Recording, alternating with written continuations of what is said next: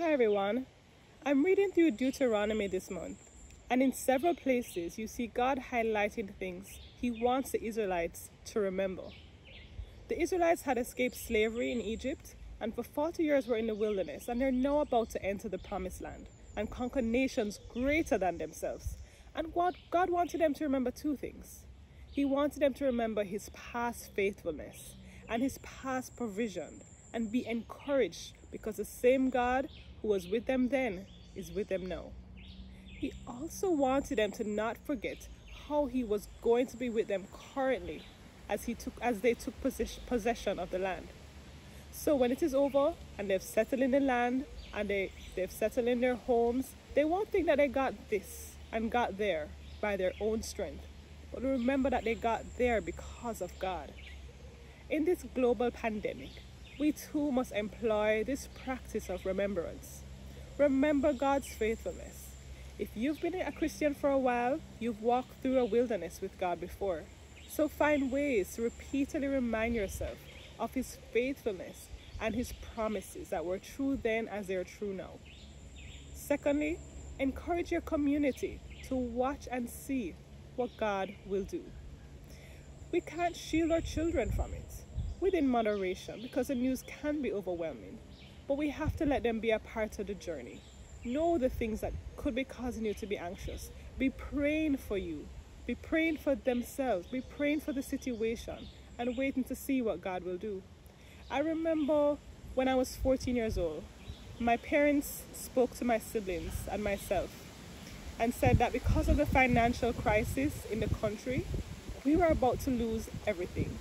We're going to lose our home, we're going to lose our cars, we're going to lose future funds for college, for school, for clothes. But they wanted us to remember this that God would be with us and that He is who would provide for us. And over and over again in the years that followed, we saw that despite all the loss that happened, that God was faithful to His promises. And so let your children, let the next generation also be a part of what is happening now so that they can rejoice when they see God answer his, his promises. Don't overlook the grieving. That's the third thing. Those who are grieving loss of a job, loss of an income, opportunity, loss of a loved one, we must remember that even though loss is everywhere right now, each person's loss is significant to them. There are many unhealthy places that persons will go to numb and distract themselves from pain if they don't access God's promises. That He will be there for them, that He heals the brokenhearted, that He feeds the birds of the air, and the same way He will provide for us, that He will never leave them nor forsake them. We need to challenge them to trust God, to wait and see what He will do, even through their process of grief and their process of loss.